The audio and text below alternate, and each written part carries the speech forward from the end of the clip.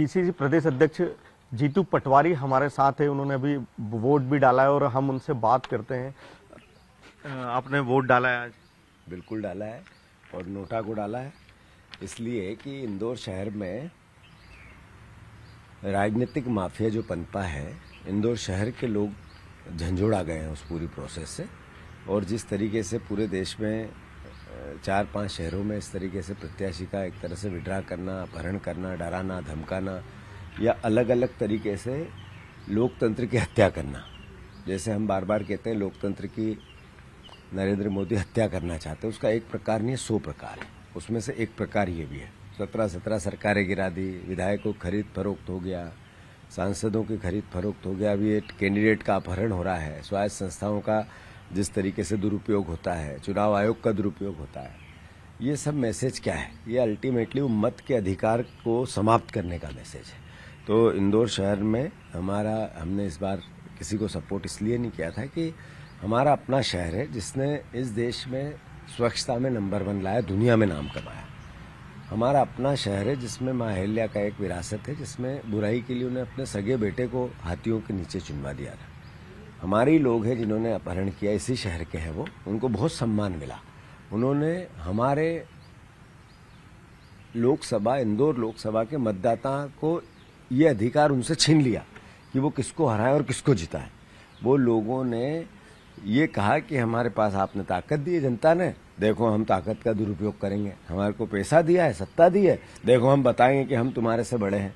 उन लोगों को फिर छोटा करने के लिए जनता उद्वेलित है। और मत करेगी सौ प्रतिशत करना चाहिए और लोकतंत्र बचाने के लिए नोटा पे करना चाहिए। एक मुहिम चल रही है कि काम किया खोटा ब- बटन दबाओ नोटा। तो वाकई में क्या इंदौर के लोग नोटा यही काम किया खोटा तो किया। ये लोगों ने और शर्म भी नहीं आती इनको। अब ये कहते हैं खोटा सिक्का था उसको भी ले गए खोटे को नहीं छोड़ा। तो अच्छे सिक्के कैसे छोड़ेंगे ये? तो काम तो किया खोटा इसीलिए बटे बदेगा दबेगा नोटा इंदौर शहर में। अब पूरे एमपी की बात करें कि इस बार क्या लगता है कांग्रेस कितनी सीट जीतेगी? आपको क्या मानता हूँ कि इंदौर और खजुराहो को छोड़ दें तो बहुत अच्छा चुनाव हुआ है। बहुत अद्भुत चुनाव हुआ है। पंद्रह से ज़्यादा सीटें कांग्रेस ला सकती है और आठ से नौ सीटें तो सौ प्रतिशत लेके आएगी। पूरे देश में बदलाव है। नरेंद्र मोदी जी ने जो देश के सामने सच बात बताए थे दस साल में झूठ के अलावा कुछ नहीं निकला। एक ऐसा व्यक्तित्व जिनके साथ हमेशा विवाद जुड़े। जब बचपन में थे तो मगरमच्छ से खेल रहे थे। जब थोड़े बड़े हुए तो बांग्लादेश की आज़ादी में चले गए। फिर कहते हैं, मैंने 40 साल तक मांग के खाया। फिर कहते हैं, अमेरिका के उसी समय के फ़ोटो भी आ गए। इंटायर साइंस की जो डिग्री ली, उसको लेके विवाद। और 10 साल में एक भी सच नहीं। ऐसे व्यक्तित्व का चुनाव है तो मैं मानता हूँ कि कट्टरता नफरत घृणा ऐसी बातें बोल बोल के चुनाव लड़ना 10 साल तक राज हो गया है। करप्शन सीधे क्या होता है? रजिस्टर्ड क्या होता है? ये नरेंद्र मोदी जी ने किया है। तो मैं मानता हूँ लोग बदलाव में इस बार नरेंद्र मोदी की सरकार नहीं बनेगी। बीजेपी दावा करी उनतीस सीट जीतेंगे और कमलनाथ दिग्विजय भी हार जाएँगे। अब ये बीजेपी क्या कहती है तो अब जनता ने मत डाल दिया है और वो आएगा चार तारीख को जब बात करेंगे। पर ये अहंकारी तो है, रावण जैसा। इसी के अगेंस्ट तो लड़ाई है। क्यों बहस इस देश में लोकतंत्र बचाने की?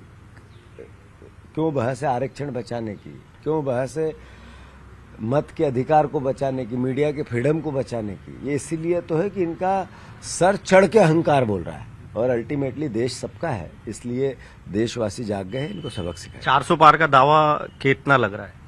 जब मैंने कहा ना कि बीजेपी की सरकार ही नहीं बनेगी समाप्त है खत्म बात। देखिए पीसीसी चीफ जीतू पटवारी जो बता रहे थे कि कांग्रेस अच्छी स्थिति में है और आठ से नौ सीटें मध्य प्रदेश में भी जीतेगी। कैमरामैन संजय बुआ के साथ शैलेंद्र चौहान न्यूज़ एटीन इंदौर।